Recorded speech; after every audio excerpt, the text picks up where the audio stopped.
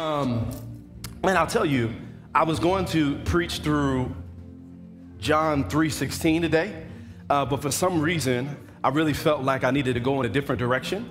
And so I hope that this message today really inspires you and encourages you, um, and that it gives you the wisdom to not only know what to do through the end of this year, but that you'll take some good steps at the beginning of the year.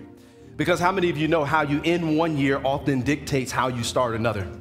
And so my hope is that this word will not only be encouraging to your soul, but that it will give you the wisdom and the help that you need so that 2024 can be one of the best years you've ever had in your life. And so, why don't you join me? I'm in James, the fifth chapter. James, the fifth chapter, is going to jump up on your screen. This is what it says it says, Be patient, therefore, brothers and sisters, until the coming of the Lord. See how the farmer waits for the precious fruits of the earth, being patient until he receives the early and the latter rain, yet also be patient. Establish your hearts, for the coming of the Lord is at hand. And do not grumble against one another's brothers, so that you may not be judged. Behold, the judge stands at the door. And as an example of suffering and patience, brothers, take the prophets who spoke in the name of the Lord. Behold, we consider it best, blessed, those who remain steadfast. You have heard the steadfastness, steadfastness of Job, and you have seen the purpose of the Lord and how the Lord is compassionate and merciful. Let's pray. Dear God, thank you for your great word that not only gives us wisdom, but helps point us to your son, Jesus, who was born in a manger during this time, in whose birth we celebrate. Jesus, I pray that you would bless those under the sound of my voice. May this message draw us closer to you. Lord, may it draw attention to you as the only wise Savior of the world. And so, Lord, we love you and we honor you in Jesus' name. Amen. You know, um, technology has transformed the way we experience waiting right now. Because of companies like Google, Apple, and Amazon, they've created like this highly digital, personalized world in which you and I are the rulers of it. Right? Think about it like this every song, every show, and every movie ever made in history is instantly accessible. Every 17 social media apps, all you have to do is swipe one way and they all pop up. Are you looking for some Thai food in the middle of the night? Well, guess what? There's an app for that. If you're looking for last minute Christmas gift, that's one tap away. What's happened with us is we've become so accustomed to a click and go lifestyle where almost every human need, regardless of nature, can be instantly satisfied with little to no waiting at all. Be- because of 5G, and shout out to 5G because I don't like my internet working slowly. Because of 5G, because of the fiber optic network, it seems like waiting for something to happen has become a thing of the past because you and I live in something called the instant gratification culture, where everything is convenient, everything is quick, and everything is at our fingertips. And I'm gonna be honest with you, I love it in some ways. Because why wait to get something on Amazon in two days when you can get it same day?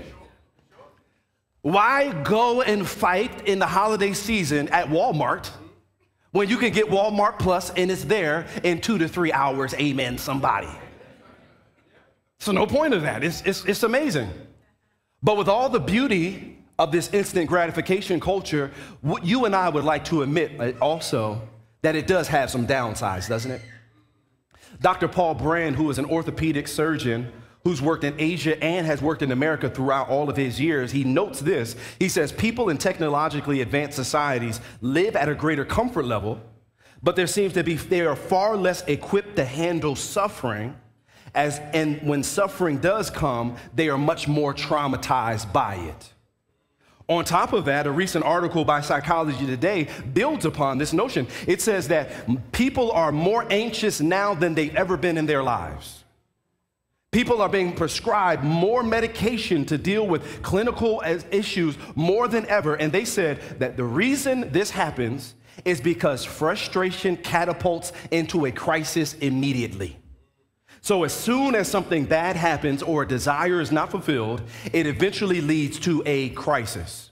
But let me just tell you, friends, that that middle ground between promise or desire and fulfillment needs to be filled by something called patience. By patience, right? That it, and it's something that we're lacking in our click and go culture. But let, let us be honest though, the lack of patience is not just buffering or buffeting our mental health. For those who are curious about exploring a relationship with God, it also has tremendous effects on our relationship with Him as well. Because if you've been following God or you're trying to explore what it is to follow Jesus, here's one of the first lessons that you will learn is that God does not move at the speed of the algorithm.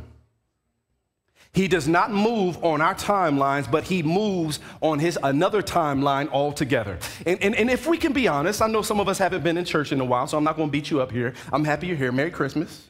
You look great with your festive colors.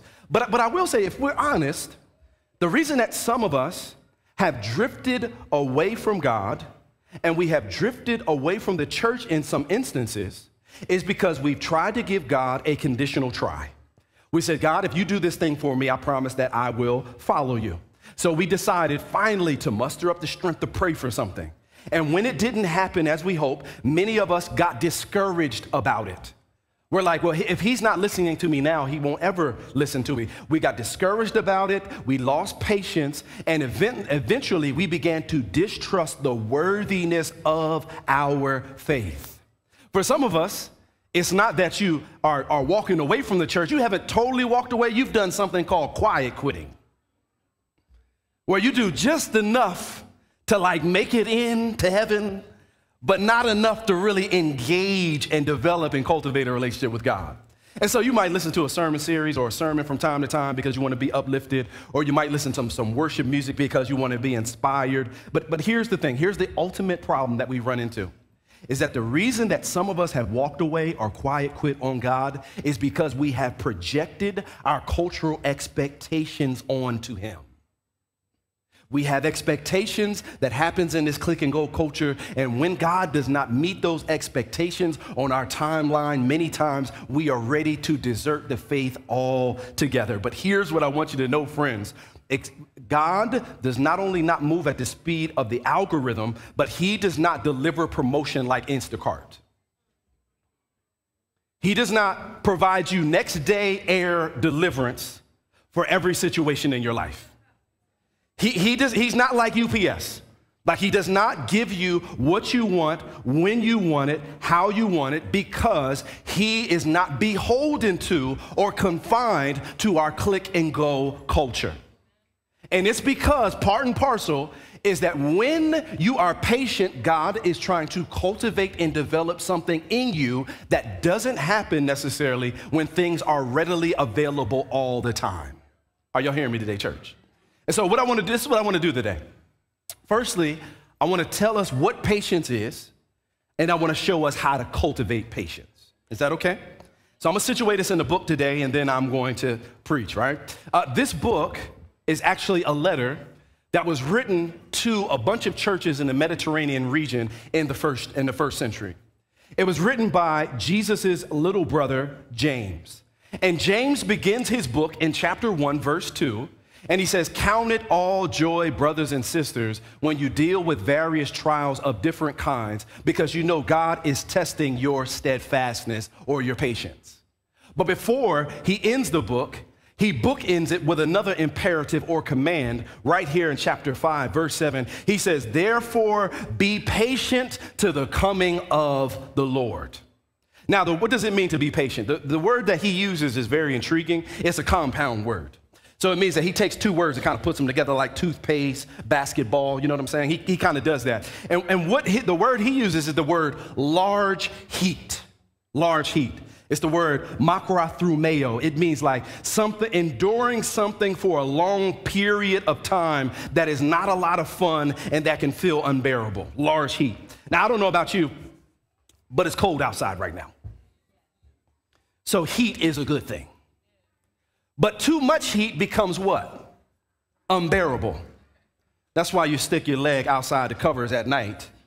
Because if you stay in the cover, all of the covers, it gets too hot. It becomes unbearable. It becomes uncomfortable. And many of us know about the this discomfort, don't we? Not only physically, but you know about the discomfort in your relationships. Some of us right now are experiencing some discomfort, some heat in our relationships because uh, we just keep on having issue after issue, maybe with our spouse or our significant other or friend. We're experiencing stress. Maybe you're experiencing the large heat right now because you're at your job and it seems like your coworkers are always trying to undermine you. Maybe you're in college and you're trying to navigate through what it looks like to kind of have a social life, but also preparing for the future. You're experiencing large heat. And James is saying in this passage that I want you to endure the perplexity, the pressures, and the paradoxes and the pain of life with joy. Patience is developing or cultivating the ability to deal with delays and troubles and suffering and do it with a great attitude. But you don't just need patience for difficult seasons of life, you need patience with people, don't you? Well, we don't need patience with people? Okay, all right. We got the greatest people in our life. So I'll just go through this quickly. You need, I, I, I heard a neurologist say that there are a thousand or a hundred billion nerve endings in our bodies and yet your coworker can get all, all of them simultaneously. Every last one. From the top of your head to the bottom of your head. It's like I've communicated my expectations as my employee, but you still are not meeting the standard. You are getting on my nerves.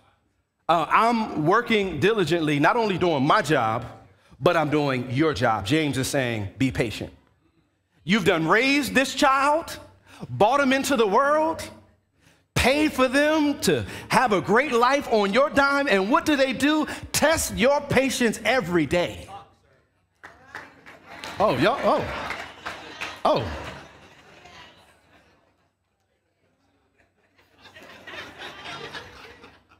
Well, I'm just going to start a new sermon series called Help, I'm a Parent. Patience. I've told you 50, 11 times to keep this house clean, flush the toilet, but you just won't listen. This is what James is saying have patience. Be patient. I know you're tired of your family members. You're gonna sit around the table with them at Christmas, and some of you haven't talked to your family members in months on end. And so you are mentally, y'all not amen in that part, you amen the kids part. you, you like, yes, Pastor, yes, these kids. The family member is not so much. I know they don't listen to you. This is what James is saying have patience. Be patient because maybe they're just not there yet. Here's the thing you have to be patient and allow people some time to grow up and mature because somebody was patient with you as you grew up and matured. Somebody took their time with you. You weren't always made up like you are now with everything together. Like, I know that you got it together now. Oh, you're emotionally present. Hallelujah. You had your little quiet times. You going to therapy now. Look at you. Working on your internal person. But here's the thing you wasn't always that way. I know you frugal now, but there was a time when you spent money simply because you thought it was going to give you significance. He's saying, be patient with other people like God has been patient with you. If you're a follower of Jesus in here, God has been patient with you while you were sinning and enjoying all of those things that the world had to offer. But He didn't crack the whip. And he didn't, he didn't punish you. He was patient with you. Are you hearing me? So we need to be patient in difficult seasons. We need to be patient with people. And we need to be patient with difficult decisions that we have to make. Some of us have some really important decisions that we have to make in 2024? Do I stay at this job or do, do I go to another job? Do I retire and spend time with my grandkids or do I keep working? Do I go to this college or that college? Do I go to college or tech school? Do I join Accelerate Church or join Accelerate Church? You have hard decisions. That was good, wasn't it? It was an intrusive thought. I was like, I should say this. I am. You're going to have hard decisions. But I would say one of the most important things you can do is be patient. Be patient. Because a lot of the pain in our life has come from us having excessive speed with a lack of consideration. In the words of Rick Ross, Ricky Rozay, I don't want to move quickly, I want to move correctly. And some of us are moving quickly, but your quickly is to a lateral movement instead of a forward one. So, what that's creating is sideways energy that is not ultimately preparing you or propelling you to your goal. So, he's saying, be patient. Be patient in the paradoxes of life. Be patient in the pain of life. Be patient in the difficulty of life. And somebody is like, well, Pastor, how long I gotta be patient? Because I feel like I've been patient for a long time. This is what James says. He gives us a timetable. He says, Be patient till the coming of the Lord. This is Advent season. Advent is about waiting. Christians believe this. Let me be your professor real quick. Christians believe that we are in, we are in the middle of something called the already, but the not yet. Christ has already come and defeated death, sin, and hell on, on the cross but we don't see the full fruition of that yet. We see and we take joy that he's already come in the form of a baby, that's Advent, but we're still waiting on him to come again with, his with the tattoo down his leg, with the voice like a many waters, and his eyes like a flaming fire, and destroy his enemies. Right? We're in that period of time. But while we wait for him to come back, we need to be patient. So, what that means is that there is never a season of life in which you will not need to exhibit patience. No matter what season of life you're in, whether you're a kid going into middle school, whether you're a student going into college, regardless of where you are, you will have to exhibit patience. Does that make sense, friends? Now, somebody's like, all right, Pastor, well, how do we cultivate patience? Well, I'm so glad you asked. James decides He's like, rather than telling you, I'm going to give you an illustration. So he gives us this illustration in verse 7. Here's what he says. He, in verse 7, he says, I want you to look to the farmer and the seed. He says, See how the farmer waits for the precious fruits of the earth and is patient until he receives the early and the latter rain. Um, as the pastor of this church, you may not know this, but I reserve the right to have the best car in the parking lot. Just going to tell you that right now. Right now, I have a 2005 Mazda MPV with 187,000 miles on it. It's clearly the best car in the parking lot. Clearly. Now I'm just playing. It's so bad that when I pull it up to the mechanic, he's like, when are you going to euthanize that car, Pastor? When are you going to put that thing down? I'm like, yo, just fix the car, man, right? Fix the car, Sam. He's like, Poppy, I don't know about this thing. Just, you, you keep bringing it in. You bring it in here every week. Can't you do better? I was like, yeah, but this one don't have a car note. The best thing I can do is keep my, my little bucket of rust running rather than getting a new one. Y- y'all ain't amen. It's all right, it's fine. You don't have to amen that. I'm secure. I'm secure in my raggedy car. You don't got to amen. You don't got to say nothing nice about that. I'm secure in that. I know somebody in this church that used to have a 98 Saturn. They doing worse than I am. Anyway, anyway.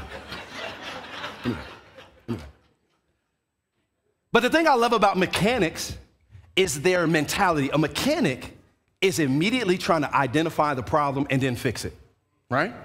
You can come in with your, with your car rattling, blah, blah, blah. you can have all, all the problems in your car. They will do everything short of taking out the engine to make sure that they fix the issue. But a farmer is different. A farmer does not fix the problem, they allow the processes to play out over time. And here's what I want to encourage you some of you have to stop thinking like a mechanic and thinking more like a farmer. Oh, y'all, yeah, yeah, okay, okay, okay, okay, uh, okay, all right, all right. I work hard on that. Me work hard.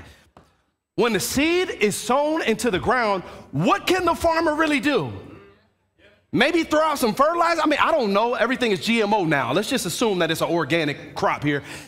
What do they do? Just throw out some fertilizer? Maybe you can put out the little scarecrow that the birds just land on. I don't know, but the best thing you can do is allow the process to happen over time. And one of the worst things a farmer can do is try to intervene because the seed is not growing as quickly as it needs to. Because if that farmer tries to circumvent the process and take the seed out of the ground, what will happen is he will thwart that plant from growing and ultimately giving him the harvest, he or she, the harvest that they want over time. And the problem with some of us is we're trying to be a mechanic instead of a farmer. You just need to let the natural processes work at times. Like those people ridiculing you and criticizing you today, you don't need to respond with an email or, or some funny Facebook post. You know what you need to do? Just wait because many of them will not be in that same department with you in six months. The people criticizing you and saying all type of negative things about you, like you do not have to respond all the time. Sometimes you just have to let the thing play out. And I say that because some of you in here, you're worried about your children and you're worried about your career and you're worried about the next steps you're going to take in life. But let me just tell you, particularly if you're a follower of Jesus, you have sowed the seeds of hard work. You have sowed the seeds of trying to teach your child everything they can know about the scriptures and the Bible. You have worked diligently, gone and gotten your degree, or gone to tech school, or worked on your craft. The best thing you can do is know that you've thrown those seeds in the ground, you've covered it with the manure of hard times, you've prayed about it, and now you've got to believe that God is going to send the rain and that the soil is going to do its job.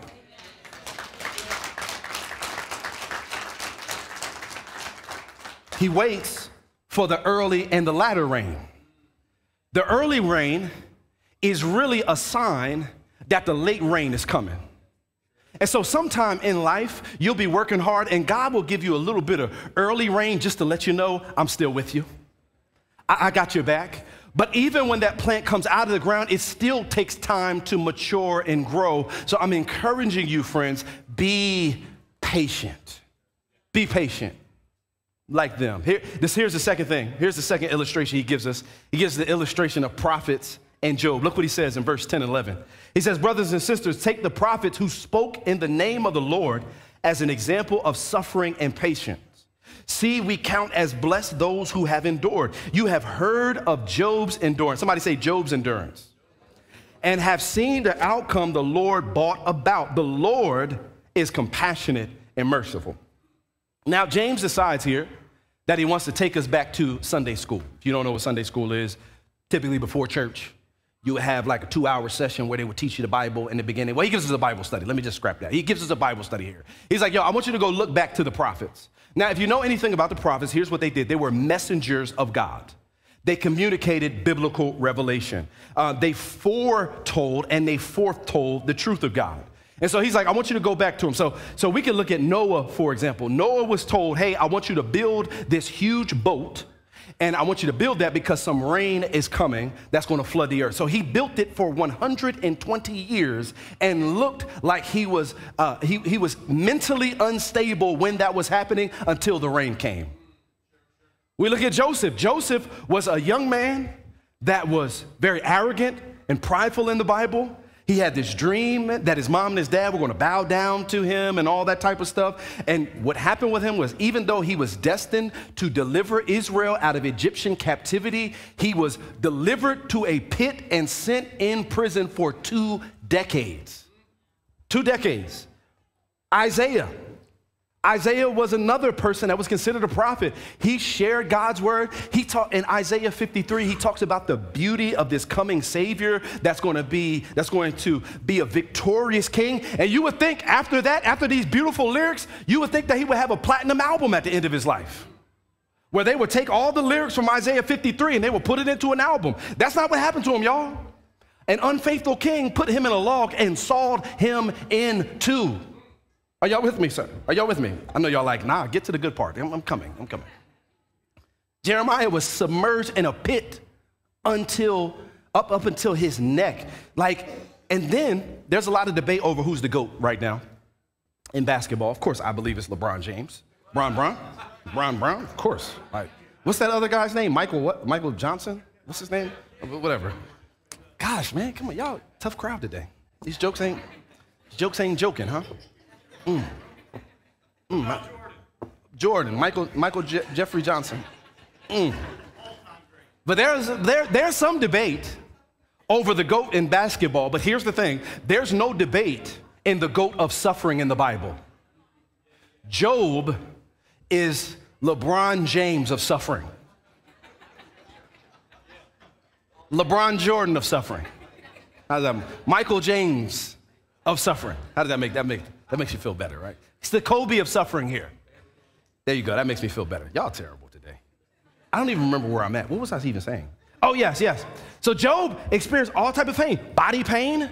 He lost his family. He lost his marriage. Like all of these dudes had long stretches of darkness. But yet, in the middle of their suffering, this passage, James says that they are blessed. Would you think that Daniel in the lion's den is blessed? Would you think that Paul in chains in Rome is blessed? Here's why. Because what you diagnose as pain in one season can also can often be a blessing in another season. But what you need is to have perspective and patience. Like I know you went through that breakup in that one season and you were like, "Oh my god, I thought this was going to work out." And then a few years later, you were like, "You know what? That worked out for the better." Thank God. Because my life would have been much different if I was involved. You were like, oh man, I was hoping I was going to graduate with this particular degree. And then somehow it was some problems and the economy changed. And that degree that you looked down on actually was one that was favorable. Or you were like, man, I don't know, I want to go to college like my rest of my friends. But then tech school popped up and now you realize that, oh, they do still need welders. Oh, they still do need electricians. Oh, AI is not taking my job because they can't wire and use all these different things. What I'm saying is something you would consider as a burden and pain in one season can actually be a blessing and an open door from God in another season, but you must have patience. You gotta have patience. And that tells us also don't judge a season too early before it's over. I know a young lady, or remember a story of a young lady, she cried for two years straight. And she, she was manic depressive. She couldn't even work for a living. She just cried and bawled tears.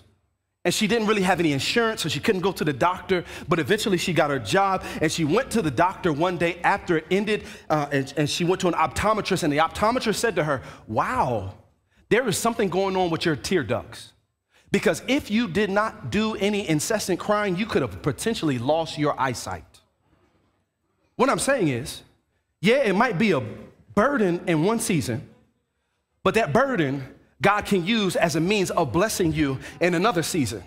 But like you thought that when you were going through all that trauma and all that pain and all the difficulty, well, that trauma equipped you to do something and empower somebody and propel somebody else to. I, I know you were worried because you were like, man, I, I'm really struggling with this because I didn't have the mom that I want and I didn't have the dad that I want. I don't have the family members and the support that I want. But God used that as a means of building you up, strengthening you. And when you run into other people that feel orphaned and abandoned in life, He's giving you the the tools that you need in order to comfort them, you've got to have patience.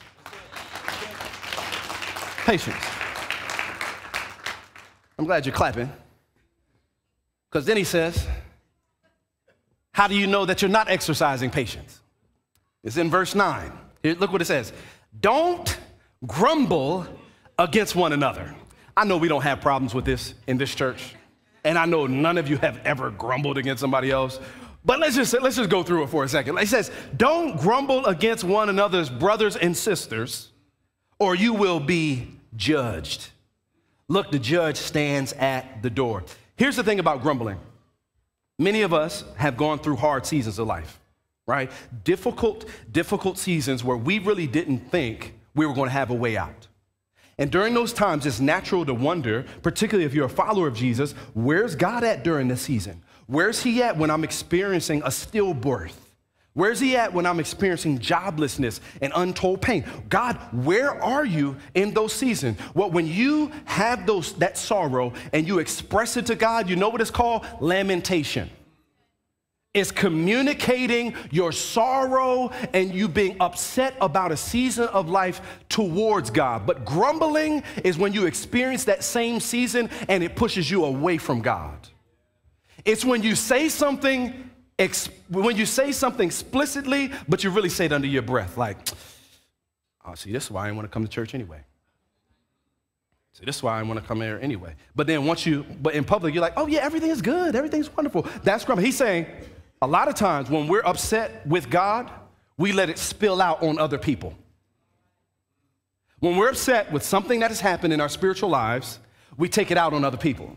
That's why we like, you know what? I got time today to answer you. I'm going to have a conversation with you today. It's because that person, has that ever happened to anybody in here? Well, you like, what? I just asked the question, why are you going off on me like this? Oh, your problem is not with me. Oh, it's something that happened in your life, and I'm just gonna be your punching bag. God is like, hey, I don't want you to treat people like your punching bags because you're dissatisfied with something that He's done in your life. That's patience. And then He goes on, for instance. So somebody might be like, and you, you can come, I'm finished on this one. You, the, somebody might be like, well, Pastor, what can I do to have patience? Like, what can I do? What, what is something I can do? Here's what I want to encourage you to do. First thing is I want you to look backwards in your life. Look backwards.